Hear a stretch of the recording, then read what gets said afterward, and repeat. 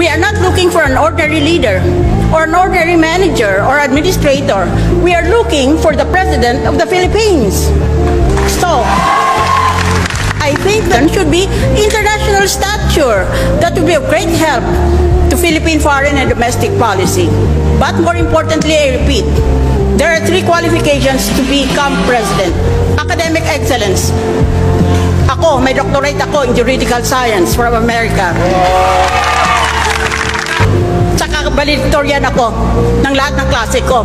Hindi naman pwede na yung naupo sa likod, yun ang magiging presidente ng Pilipinas. Pangalawa, professional excellence. Binigyan ako ng prestigious Magsaysay Award for Government Service. Quote, for bold and moral leadership in cleaning up a corrupt government agency. Meron ba silang ganon?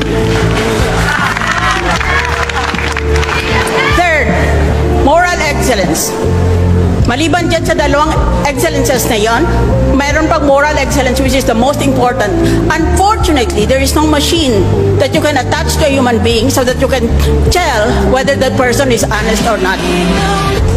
Maaring bulero lang, maaring magaan ang bibig, maaring kung ano nung sinasabi, basta kung unang dumating sa isipan niya.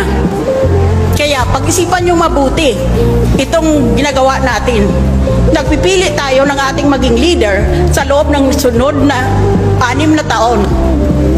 Hindi tayo pwede mamili sa base lang ng kursunada. O dahil uso doon sa mga mga gang ninyo sa mga tribes ninyo sa eskwela.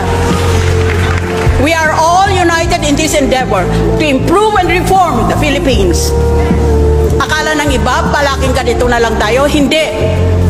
Lalabanan natin itong korupsyon na naging bunga at sanhi ng ating kahirapan.